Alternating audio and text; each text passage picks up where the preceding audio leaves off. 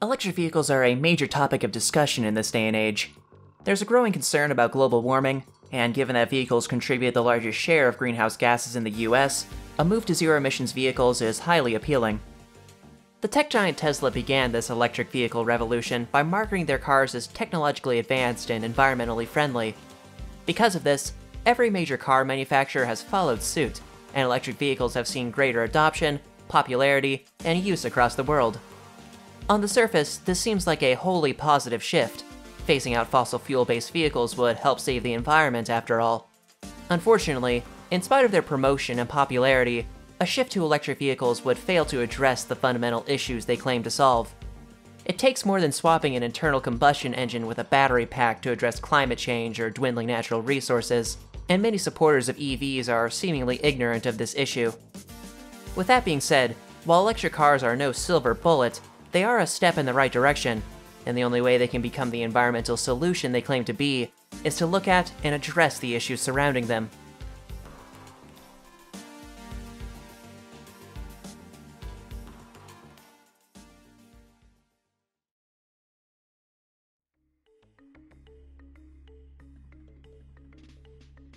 The problems with electric vehicles are numerous, with the biggest issue being how they get their energy in the first place.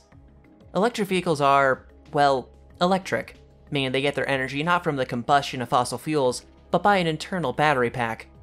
Unlike gas powered cars, the mere use of an electric vehicle produces few, if any, emissions, a definite pro. However, an issue arises when you consider how an electric vehicle actually gets its power. The United States electrical grid is powered by numerous different sources of energy, with the majority coming from fossil fuels, the same fuel source used in gas powered cars. Electric vehicles get their power from this grid, and while driving and charging them has less environmental impact than gas cars over a lifetime of use, there's still a comparable and significant environmental cost associated with every electric vehicle on the road. Outside of power issues, the production of electric vehicles is more environmentally damaging than that of their gas powered counterparts. Whereas both gas and electric cars need the same materials for tires, frames, and useless DRM electronics, producing an electric car's battery is awful for the environment. Lithium, cobalt, and nickel are all essential elements for modern lithium ion batteries, and their procurement is a dirty business both environmentally and politically. Batteries also degrade over time, typically lasting about 10 to 20 years before they need to be replaced. In addition, if these spent batteries aren't properly disposed of in cases of crashes or simple negligence, they're extremely toxic to the environment. Finally, lithium ion batteries have some inherent risks in their usage, primarily in the case of fires. While fires caused by electric vehicles are generally uncommon, if there's a serious crash or if the battery just wants to set itself alight, the resultant fires are difficult to put out and produce large quantities of toxic compounds. While the environmental issues associated with electric vehicles are significant, EVs have a number of limitations and inconveniences compared to modern gas powered cars. For starters, charging an EV takes an exorbitant amount of time. Outside of designated charging stations, which still take longer than regular gas stations, you're looking at several hours to days for an EV to be fully charged. In addition, the range of an EV is limited compared to gas cars, typically half that of a conventional vehicle on a full tank of gas.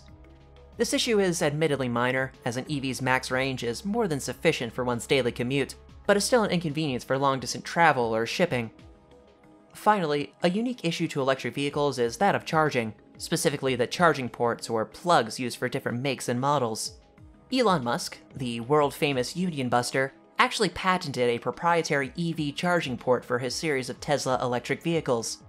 While this patent is technically open source, if another manufacturer were to use Tesla's patents, they wouldn't be able to sue Tesla for infringing on theirs. This terrible business proposition has prevented major car manufacturers from using Tesla's tech. Due to this, there are now myriad different types of charging plugs for electric vehicles, a night and day difference to the one nozzle used for gas powered cars.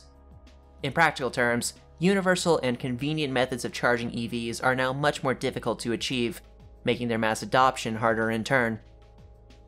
I mentioned previously that electric vehicles are a step in the right direction, and I do genuinely believe that.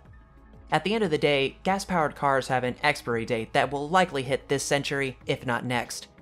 The problem with EVs, however, is that their current design and the systems surrounding them fail to deliver the solution they promise. This, of course, begs the question how can they be improved?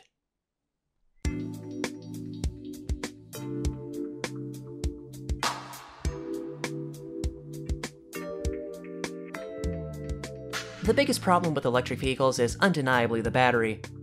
While the efficiency and affordability of lithium ion batteries have both seen constant improvement over the past three decades, they're still extremely heavy, slow to charge, and environmentally damaging. However, there are two promising technologies that may alleviate this issue, with the first being solid state batteries. Compared to modern liquid lithium ion batteries, solid state batteries come with a host of advantages, ranging from higher energy density to faster charge times to a wider range of temperatures where they can operate. In addition, solid state batteries are much safer than their liquid counterparts. While both batteries contain highly reactive lithium, the liquid of a liquid ion battery starts fires when exposed to air.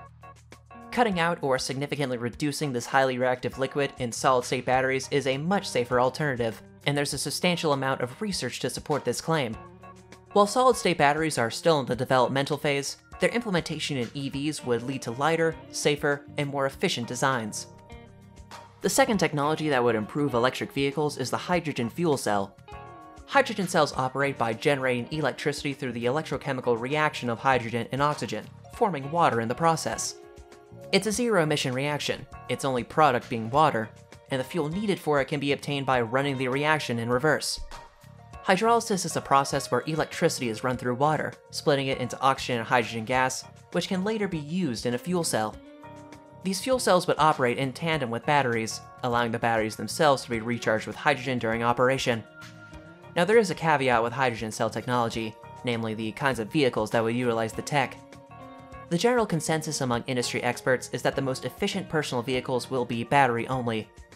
This is due to the higher energy density of batteries compared to hydrogen cells, as the actual storage tanks for high pressure hydrogen are extremely heavy. However, there is currently investment in the use of hydrogen cells for global shipping and rail, and with some technological advancement, there may be greater reliance on hydrogen as a power source in the future. While technological advancement will lead to more efficient and practical designs for electric vehicles, there's still the matter of charging them. Electric vehicles have the potential to be environmentally friendly and produce zero emissions, but not if they're powered with conventional sources of energy. Furthermore, as electric vehicles become more predominant and occupy a larger share of the road, our electric grid will have to expand to accommodate them. The solution in this case is quite simple just start investing more in renewable sources of energy. The technology behind renewable energy has been constantly developed and improved over the past century or so, and is becoming more cost effective than non renewables in many cases. In addition, renewable sources of energy are substantially less environmentally damaging than their non renewable counterparts, addressing another large fraction of emissions in the process. Phasing out non renewable sources of energy and constructing more windmills and solar fields would both allow for a world reliant on EVs and make them truly zero emissions in the process. As an aside, there needn't be concern over the supposed unreliability of renewable energy. Solar panels and windmills will undergo lows whenever it's cloudy or the air is still, but these energy droughts can be offset by their highs. During periods when the sky is clear and the wind strong, the excess energy produced can be used for hydrolysis, generating hydrogen for fuel cells in the process. There are also studies being done on retrofitting natural gas plants to take hydrogen as fuel, allowing for the continued use of current infrastructure. Such systems take advantage of the technologies mentioned earlier, and again simply use water as fuel. While developing an energy grid that accommodates electric vehicles is a must, so too is the proper recycling of such vehicles. We mentioned earlier that procuring raw materials for batteries is a rather dirty procedure, and is thus something we should minimize to the best of our ability. Furthermore, if you just toss a car battery in the dump or throw it in the ocean, the various acids and heavy metals within will further poison the environment. Fortunately, the technology behind battery recycling is both robust and efficient, capable of recovering the vast majority of materials used in a battery. Unfortunately, this technology has not been deployed to any substantial scale. To that end, expanding the use of this technology and making a concerted effort to recycle EVs should be a top priority. In doing so, the heavy environmental impact of battery production and disposal can be offset somewhat, and electric vehicles can further be the environmental solution they claim to be.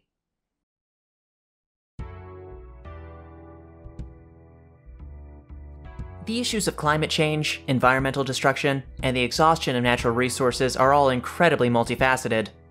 Electric vehicles, for what they're worth, can address aspects of these major issues, just not their current iteration. Fans of pop science and people who really like Elon Musk are under the impression that a full swap to EVs right this instant would solve these climate issues and actually be possible. The real answer lies in the maturation of technology surrounding EVs and further reliance on renewables. Or just having fewer cars in general, though that's a topic for another day. Either way, hopefully with these solutions in mind, we can make the challenges of protecting the environment and addressing climate change a bit easier to tackle. Thanks for reaching it to the end. Before going into some final thoughts on the topic, do please like, subscribe, and share the video around if you enjoyed it or learned something interesting. It would really mean a lot.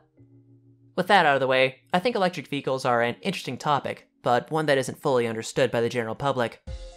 Science and scientific progress is both fascinating and vital, but the presentation of recent discoveries and innovations has been exaggerated, to say the least. Scientific progress is a rather slow process of pushing the efficiency of established fields, with the occasional breakthrough to speed things along. As pessimistic as this may sound, we are nowhere close to the quote unquote future as many people understand it. While on the surface this may sound disappointing at most, problems arise when people have hope or faith in solutions that simply don't exist. This false hope and some nebulous solution just leads to complacency. After all, if you don't think there's a problem, you won't tackle it. The only remedy is a broader understanding of the issues at hand, so they can be acknowledged and then properly addressed. Hopefully this video has helped to elucidate some of these issues, both regarding EVs and the phenomena surrounding them, and in turn, we can go forward and advocate for true solutions. Regarding the channel, it's been a little while since my last serious upload. May was a bit of a weird month for me, and I spent most of it writing a script for a much longer production, which I will likely tackle next. This vid is meant to be something of a buffer, a shorter and thus easier production to cover in the meantime, as I don't want to go much longer than a month without an upload. In any event, thanks again for reaching the end, do the things that make the algorithm happy, and until next time, take care.